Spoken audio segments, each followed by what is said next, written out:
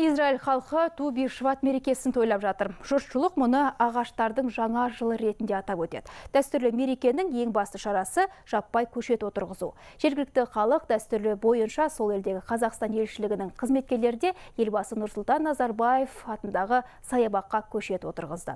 Мұндағы ағаштардың алғашқысы бұдан 18 жыл бұрын егілген. Содан бері елшілік мамандары оларды қамқорлығына алып жасыл желекке айналдырды.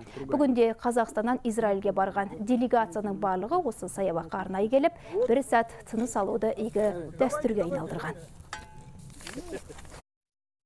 Мы находимся в лесу имени Хайма э, Вайцмана. Израильдің тұңғыш президенті Хайм Вайцман атындағы орманда тұрмыз. Бұл жерде өзге елдің президентінің атымен аталған жалғыз саябақ бар. Мұндай арнайы құрметке Нұрсұлтан Назарбаев ие.